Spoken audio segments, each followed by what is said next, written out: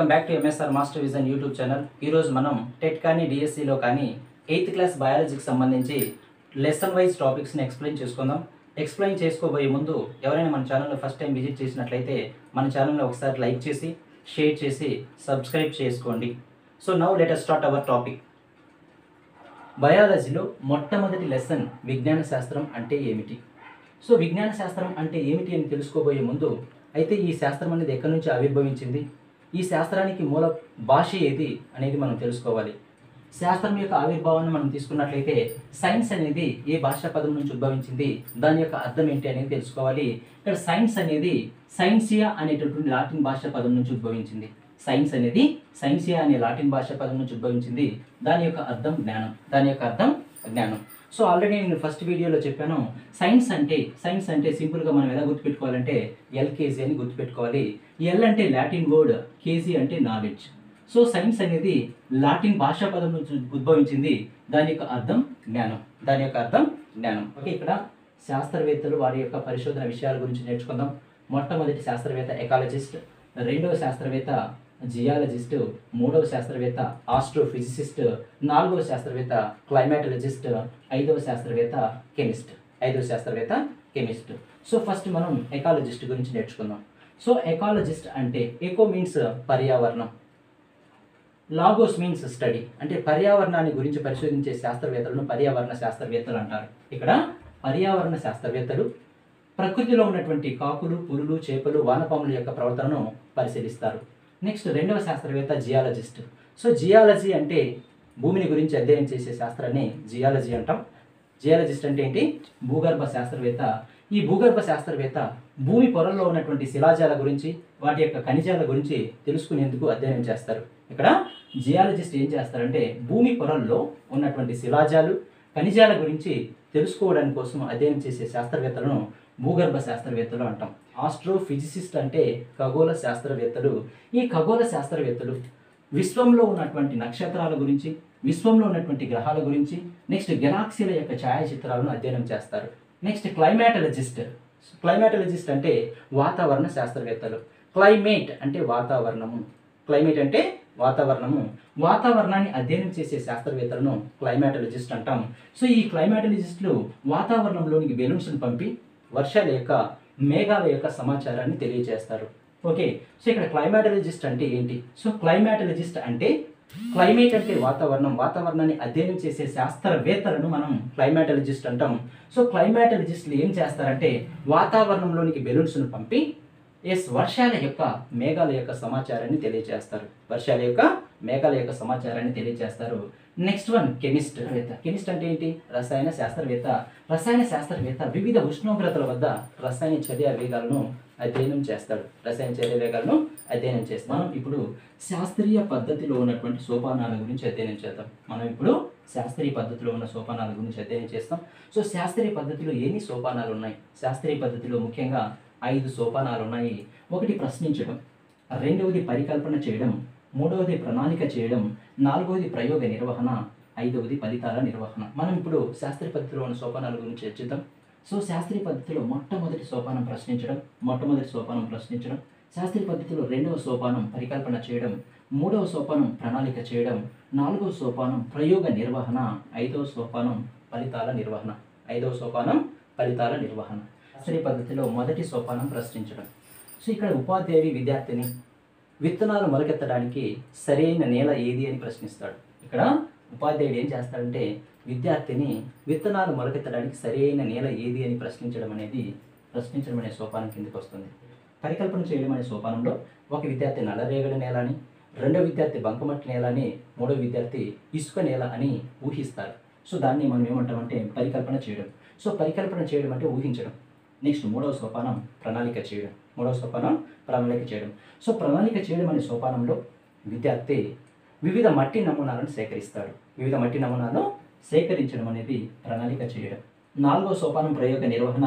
ఈ ప్రయోగ నిర్వహణలో విద్యార్థులు మూడు కుండీలను సేకరిస్తారు. విద్యార్థులు మూడు కుండీలను సేకరించి మొదటి కుండీలో ఎర్ర రేగడి నెల రెండవ కుండీలో నల్లరేగడి నెల మూడవ కుండీలో ఇసుక నేలను తీసుకొని ఈ కుండీలలో మొక్కలను నాటి వాటికి సరైనటువంటి మోతాదులో నీటిని మరియు సరైన మోతాదులో నీటిని మరియు కాంతిని అందిస్తారు. కాంతిని అందిస్తారు. నెక్స్ట్ ఐదవ సోపానం ఫలితాల నిర్వహణ. ఐదవ సోపానం ఫలితాల నిర్వహణ ఇందులో మొదటి కుండీలో మొక్క పెరుగుదల రెండవ కుండీలో మొక్క పెరుగుదల మూడవ కుండీలో మొక్క పెరుగుదలను ప్రతి మూడు రోజులకు ఒకసారి గమనించి ఇరవై ఒకటవ రోజు మొక్క యొక్క పెరుగుదలను నమోదు చేయడం అనేది ఐదవ సోపానం. అది ఫలితాల నిర్వహణ. శాస్త్రీయ పద్ధతిలో ముఖ్యంగా ఐదు సోపానాలు ఉన్నాయి మొదటిది ప్రశ్నించడం రెండవది పరికల్పన చేయడం మూడవది ప్రణాళిక చేయడం. ప్రణాళిక చేసిన తర్వాత ఆ ప్రయోగాన్ని నిర్వహించడం. నెక్స్ట్ ఐదవది ఫలితాల నిర్వహణ. ఐదవది ఫలితాల నిర్వహణ. మనం ఈ లెసన్లో వచ్చే శాస్త్రవేత్తల గురించి తెలుసుకుందాం. సో ఫస్ట్ శాస్త్రవేత్త పేరు కార్ల్ పాపర్. ఇక్కడ ఈ లెసన్లో వచ్చే శాస్త్రవేత్తల గురించి తెలుసుకుందాం. ఫస్ట్ శాస్త్రవేత్త పేరు కార్ల్ పాపర్. ఫస్ట్ శాస్త్రవేత్త పేరు ఏంటి కార్ల్ పాపర్. కార్ల్ పాపర్ ఏం చెప్పాడు చూడండి? సరిదిద్దబడ్డ తప్పుల చరిత్రని సైన్స్ అన్నాడు. So very important. సరిదిద్దబడ్డ తప్పుల చరిత్రని సైన్స్ అన్న చెప్ అని చెప్పిన శాస్త్రవేత్త ఎవరు అంటే కార్ల్ పాపర్. కార్ల్ పాపర్. దాన్ని మనం ఏమని చెప్తామంటే history of corrected mistakes. History of corrected mistakes. Karl అంటే కరెక్షన్ పాపర్ అంటే పేపర్ అని గుర్తుపెట్టుకోవచ్చు. Okay? So science paper correction చేసేది. So correction of mistakes done by the scientist Karl Popper అని సింపుల్గా గుర్తుపెట్టుకోవచ్చు. నెక్స్ట్ ఆల్బర్ట్ ఐన్స్టీన్ అనే శాస్త్రవేత్త నేను ప్రతి సంవత్సరం గత సంవత్సరం రాసిన దాన్ని మారుస్తూ ఉంటాను అని చెప్పాడు. ఇక్కడ ఆల్బర్ట్ ఐన్స్టీన్ అనే శాస్త్రవేత్త నేను ప్రతి సంవత్సరం గత సంవత్సరం రాసిన దాన్ని మారుస్తూ ఉంటాను అని చెప్పిన శాస్త్రవేత్త ఎవరు? Albert Einstein. మూడవ శాస్త్రవేత్త కజూరి. కజూరి రాసిన పుస్తకం the book history of science or science చరిత్ర అనే పుస్తకం మనం ఇప్పుడు అంతరించిపోతున్న జాతుల గురించి తెలుసుకుందాం. అంతరించిపోతున్న జాతులను ఏమంటామంటే endangered species so endangered species అనగా ప్రస్తుతం ఉండి భవిష్యత్తులో అంతరించిపోయే వాటిని మనం ఎండేంజర్డ్ స్పీసీస్ అంటాం. ఇప్పుడు ఏ మొక్కలు అంతరించిపోతున్న కేటగిరీలో ఉన్నాయో చూద్దాం. ఆర్కిడ్స్ గంధపు చెట్టు సైకాన్ మరియు సర్పగంధి. సైకాన్ మరియు సర్పగంధి ఇవి అంతరించిపోతున్నటువంటి జీవజాతి మొక్కలలో ఉన్నాయి. మనం జంతువులను తీసుకున్నట్లయితే ఏ జంతువులు అంతరించిపోతున్నాయో చూద్దాం. ఇక్కడ ఎర్ర నక్క నెక్స్ట్ ఎర్ర పాండ రెడ్ పాండ బట్టమేక పిట్ట బట్టమేక పిట్ట ఆర్ గ్రేట్ ఇండియన్ బస్టర్డ్. బట్టమేక పిట్ట or great Indian bustard. Next great Indian hornbill golden monkey golden monkey చిరుతపులి సింహం నెక్స్ట్ నెమలి మొసలి తాబేలి ఇవి కూడా ఈ జంతువులు కూడా అంతరించిపోతున్నటువంటి జీవజాతి కేటగిరీలో ఉన్నాయి. సో ఇవి అంతరించిపోతున్నటువంటి జీవజాతులు. సో ఇప్పుడు మనం ఎండమిక్ జాతులు లేదా ఎండమిక్ స్పీసీస్ గురించి తెలుసుకుందాం. సో ఎండమిక్ జాతులు లేదా ఎండమిక్ స్పీసీస్ తీసుకున్నట్టయితే వాటి యొక్క ఎండమిక్ జాతులు అనగా ఏంటి? అంటే ఒక దేశం కానీ ఒక ప్రత్యేక ప్రాంతానికి కానీ పరిమితమైనటువంటి వృక్ష జంతు జాతిని ఎండమిక్ జాతి అంటారు. ఆ ఎండమిక్ జాతులు అంటారు. ఒక దేశం కానీ ఒక ప్రత్యేకమైన ప్రాంతానికి కానీ పరిమితమైనటువంటి వృక్ష జంతు జాతిని ఎండమిక్ జాతులు అంటారు. మన ఇండియాలో ఏ జంతువులు ఎండమిక్ జాతి కిందకి వస్తాయో చూద్దాం. సో ఇండియాలో ఇండియాలో గమనించినట్లయితే నెమలి మరియు పెద్ద పులి. ఇండియాలో నెమలి మరియు పెద్ద పులి ఎండమిక్ కేటగిరీ కిందకి వస్తున్నాయి. Next Australia. సో ఆస్ట్రేలియా మనం గమనించినట్లయితే ఆస్ట్రేలియా ఫేమస్ జంతువు ఏంటి? ఆస్ట్రేలియాలో కంగారు. ఆస్ట్రేలియాలో కంగారు అనే దాన్ని మనం ఎండమిక్ జాతిగా గుర్తిస్తాం. ఆస్ట్రేలియాలో కంగారు అనేది ఎండమిక్ జాతి. నెక్స్ట్ న్యూజిలాండ్ సో న్యూజిలాండ్ మనం తీసుకున్నట్లయితే what is the national bird of New Zealand kiwi న్యూజిలాండ్లో kiwi అనే దాన్ని ఎండమిక్ జాతిగా గుర్తిస్తాం. ఈ ఆకు పరిమితమైనది నెమలి పెద్ద పులి. ఆస్ట్రేలియాకు పరిమితమైనది కంగారు. నెక్స్ట్ న్యూజిలాండ్కి పరిమితమైనది కివి న్యూజిలాండ్కి పరిమితమైనది కివి ప్రపంచం మొత్తం ఉభయచరాల్లో అరవై ఐదు పర్సెంట్. అరవై ఐదు పర్సెంట్. నెక్స్ట్ ప్రపంచం మొత్తం బల్లుల్లో యాభై పర్సెంట్ ఇండియాలోని పశ్చిమ కనుమల్లో ఉన్నాయి. సో వెరీ ఇంపార్టెంట్ సో ఇక్కడ గమనించండి ఎకోసిస్టమ్ ఎకోసిస్టమ్ అనగా ఆవరణ వ్యవస్థ.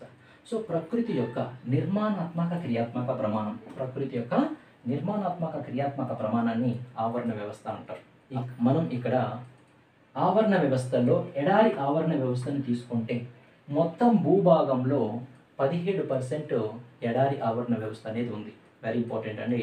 సో మొత్తం భూభాగంలో ఎంత శాతం ఎడారి ఆవరణ వ్యవస్థ ఉంది? పదిహేడు శాతం ఆ ఎడారి ఆవరణ వ్యవస్థ ఉంది. సో మనం ఎడారుల్లో వర్షపాతాన్ని గమనించినట్లయితే సో వర్షపాతం అనేది ఇరవై మూడు పర్సెంట్ కంటే తక్కువగా ఉంటుంది. మనం నెక్స్ట్ క్లాస్లో కణం మరియు జీవుల యొక్క మౌలిక ప్రమాణం గురించి నేర్చుకుందాం. Thank you